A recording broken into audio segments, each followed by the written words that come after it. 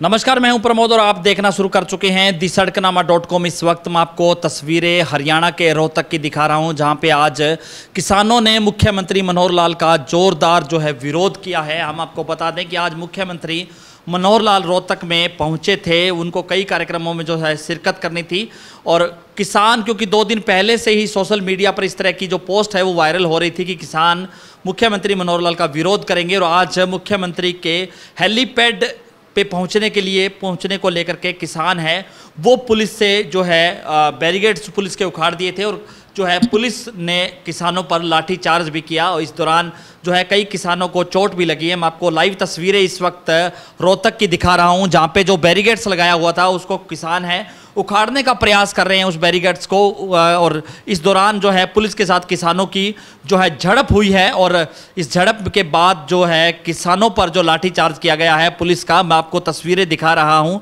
हरियाणा के रोहतक की ये तस्वीरें हैं, जहाँ पे आज पुलिस ने लाठीचार्ज किया है और इस लाठीचार्ज के दौरान है, कई जो है बुज़ुर्ग किसानों को चोट भी लगी है। और आज इस विरोध प्रदर्शन में जहाँ किसान आए, उनके साथ महिलाएँ भी काफ़ी संख्या में जो है सुबह से ही रोहतक है, पहुँच गई थी। अलग अलग गाँव से ट्रैक्टर ट्राली लेकर के जो है किसान आज मुख्यमंत्री मनोहर लाल का विरोध करने के लिए रोहतक में पहुँचे थे। और मुख्यमंत्री को आज जहाँ आंवली गाँव में जाना था, वहीं आज उनको रोहतक कार्यक्रम में जो है हिस्सा लेना था। लेकिन आज किसानों ने पूरी तरह से उनका जो है वो विरोध किया। हालाँकि पुलिस है, सुबह से ही बैरिगेड्स लगा करके पुलिस ने जो है भारी पुलिस बल है वो रोहतक में तैनात थी, लेकिन किसान है वो भी नहीं डटे। पूरी तरह से जो किसान हैं, वो जो हज़ारों की संख्या में जो किसान हैं, वो रोहतक में एकत्रित हो गए थे और किसानों ने पूरी तरह से जहाँ जोरदार नारेबाजी की, वहीं भी किसानों ने बैरिगेड तक उखाड़ दिए और पुलिस को लाठी चार्ज करना पड़ा। इस वक्त मैं आपको लाइव तस्वीरें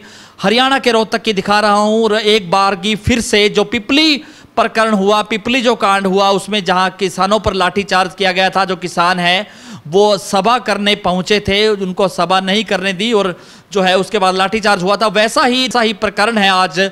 फिर से देखने को मिला है जहाँ पुलिस कर्मचारी है, वो किसानों पर लाठी बरसाते हुए देखे। मैं इस वक्त में आपको तस्वीरें हरियाणा के रोहतक की दिखा रहा हूँ, जहाँ पे किसानों पर जो लाठीचार्ज हुआ है और जो है किसानों को चोट भी लगी है, एक बुज़ुर्ग किसान है, उनको चोट लगी है। मैं आपको तस्वीरें दिखा रहा हूँ इस वक्त जो है रोहतक की और आज रोहतक प्रकरण को लेकर के आज जो मुख्यमंत्री मनोहर लाल का जो विरोध किया गया है, उसको लेकर के जहाँ लोगों के जो है आँखों के आगे पिपली प्रकरण जो है पूरी तरह से ताज़ा हो गया है। मैं आपको जो दिखा रहा हूँ तस्वीरें कि आज मुख्यमंत्री मनोहर लाल का किसानों ने पूरी तरह से विरोध किया है और जो है दो दिन पहले ही मुख्य, जो है, डिप्टी सीएम दुष्यंत चौटाला का भी विरोध किया था किसानों ने हिसार में और उनको जो है, एयरपोर्ट से बाहर नहीं निकलने दिया था। उसको लेकर के आज जो है, मुख्यमंत्री मनोहर लाल का जो है, पूरी तरह से विरोध किया गया है। रोहतक की तस्वीरें इस वक्त मैं आपको दिखा रहा हूँ। इस वीडियो को आप ज़्यादा से ज़्यादा शेयर ज़रूर कर दीजिए ताकि तीनों ही अध्यादेशों के खिलाफ जो किसान लगातार संघर्ष कर रहे हैं, तीनों ही अध्यादेशों को रद्द करने के लिए किसान